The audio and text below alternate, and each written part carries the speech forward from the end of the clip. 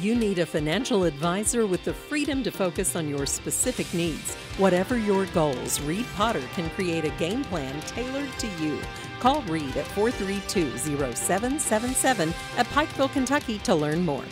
As Pike County begins work on disaster relief, county officials held a press conference Friday, July 29th to update the public on waste disposal, estimated utility restoration, temporary housing, and health and safety protocol. If you're out there and you need your uh, tetanus or Tdap booster uh, and you can get to us, you know, we're open five days a week and we'll provide that on site as well. Uh, we do same day appointments. If you have concerns regarding your, uh, your tetanus booster, call us. We can look that information up in the system for you. Our number is 509 5500. Um, so, again, uh, we're not as concerned with hepatitis. I was asked about that earlier.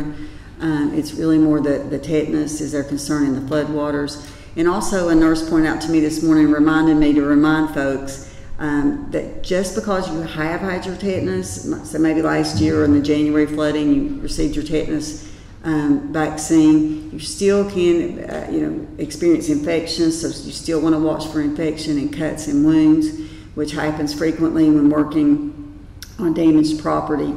Um, and also, uh, we're going to be in the near future working with individuals who've lost their medicines. Um, and, and, we'll work with uh, Kentucky Pharmacy Association on that. Jenny Wiley State Resort Park and Valley Elementary are currently housing displaced residents affected by the flooding. As of July 28th, over 1,500 residents were without water and over 1,000 residents were without power. Mountain Water and AEP hope to have all utilities restored by the end of next week. As cleanup efforts begin in Pike County, Solid Waste Management will be offering free pickup service.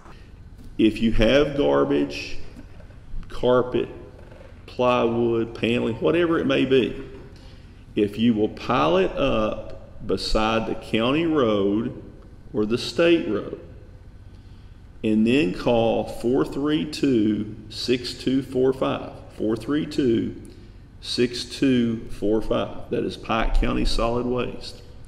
We will send a boom truck to clean up the material. We've had people calling and asking for dumpsters. We have dumpsters, but dumpsters are significantly more expensive and we have a limited number. If you will pile up the material beside the road, call and schedule a pickup, there will be no charge for that. It will be picked up free of charge. So please uh, don't make it worse. For updates on utility restoration, cleanup efforts, and disaster relief, go to Pike County Emergency Management on Facebook. To schedule a trash pickup, call 606 432 6245. For Mountaintop News, I'm Brianna Robinson.